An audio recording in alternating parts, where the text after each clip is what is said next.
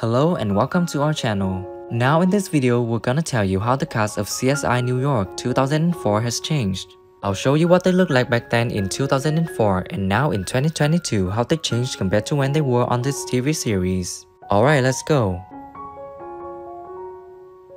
Carmine Giovinazzo in the TV series he plays Danny Messer, a third-class detective and crime scene investigator working on Mac's team. In 2004, he was 31 years old, and now he's 49 years old. About it, you know, what kind of service would you want? Danny, I think we need to know what each other wants in this moment. You want to hear what I I think golf is out there. Nobody is. There's a couple movies about golf that were good. Caddyshack Tin Cup. is a classic. Tin Cup, and so it's kind of. I wanted to. Just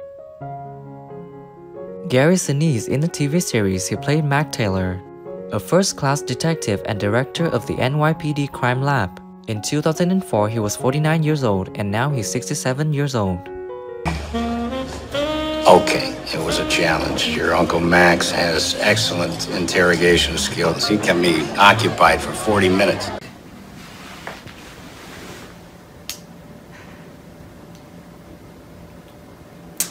Who, who did that? Eddie Cahill in the TV series he played Don Flack, an NYPD first-class murder detective who comes from a long line of law enforcement officials. In 2004, he was 26 years old, and now he's 44 years old. until we get the stink of death out of the carpeting. Well, just thought I'd ask. And the attitude's unnecessary. Crisis. Yeah. it's so compelling, you know, on top of, and I think the show also does well to take the procedural drama as we know it and, and turn it around and take a different look. Hill Harper in the TV series he plays Sheldon Hawkes, the medical examiner of the NYC Medical Examiner's Office when the series begins. In 2004, he was 38 years old, and now he's 56 years old. Nothing in her eyes to indicate a particular hemorrhaging. Before we get to cause of death, you better see this.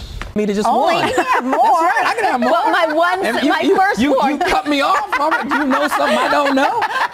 What's Is this about to be a Robert Joy in the TV series he plays Sid Hammerback, the medical director of NYPD. In 2005, he was 54 years old, and now he's 71 years old. That victim was HIV positive.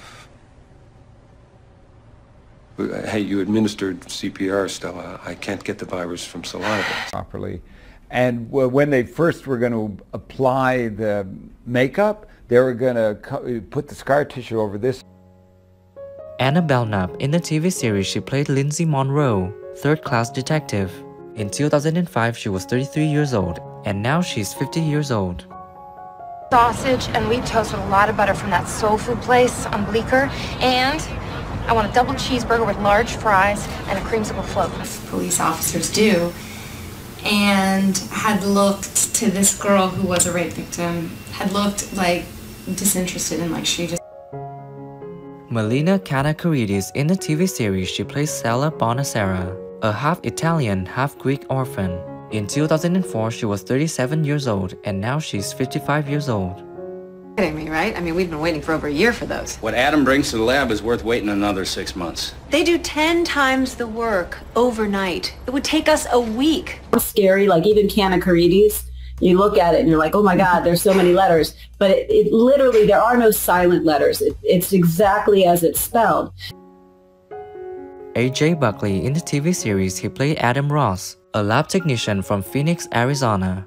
In 2005, he was 28 years old, and now he's 45 years old. We were, um, well, while these guys were uh, goofing around, I recovered a rust-like substance from the Vic sweater, more than likely transferred from the murder weapon.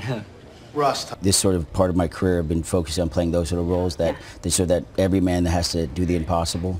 Um, and I don't know, and I feel like with this character, Sonny, he's kind of the cowboy of the team, and Emmanuelle Vaugier in the TV series she plays Detective Jessica Angel, an NYPD homicide detective in season 5, Detective Don Flack's girlfriend. In 2006, she was 30 years old and now she's 46 years old. How funny. You know you owe me big time. Zane?